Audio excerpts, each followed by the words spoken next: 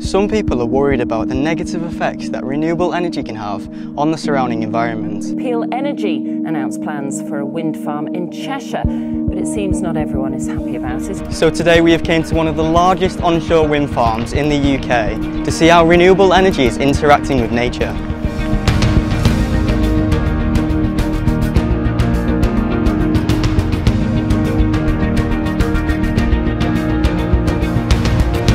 Hey, it's Ben here from Going Green, the channel that shows you the best solutions to climate change. Now today I'm in the northwest of England filming at a wind farm just outside of Liverpool. Now back in 2009, this entire area was a nature reserve and was actually part of Britain's Greenbelt. When the BBC spoke with the local people of Frodsham, there was a large number of them that were against the idea of the wind farm.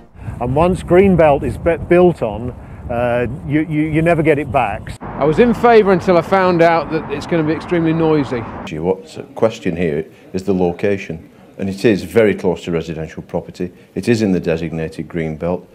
However, there were some people that were in favour of the project.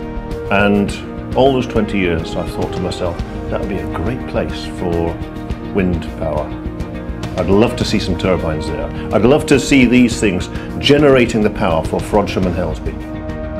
Peel Energy managed to secure planning permission and installed 19 turbines onto the site, which now power over 25,000 homes. The developers listened very carefully to the local people's concerns, and because of this, the natural marshland has actually been improved. Additional habitats have been created for the wildlife, and biodiversity has increased. There are concerns about how wind farms can harm birds, However, as long as they are positioned away from major migration routes, wind farms are considerably better for the wildlife when compared to non-renewable energy sources. Therefore, with careful planning and community engagement, renewable energy can coincide with nature. Yes, they may disrupt the view, but wouldn't you rather be looking at this than struggling to see anything at all because the air is filled with smoke from coal power plants? Other forms of renewable energy do have different environmental effects to wind farms, but if you want to see more about this, then I suggest you go and watch this video.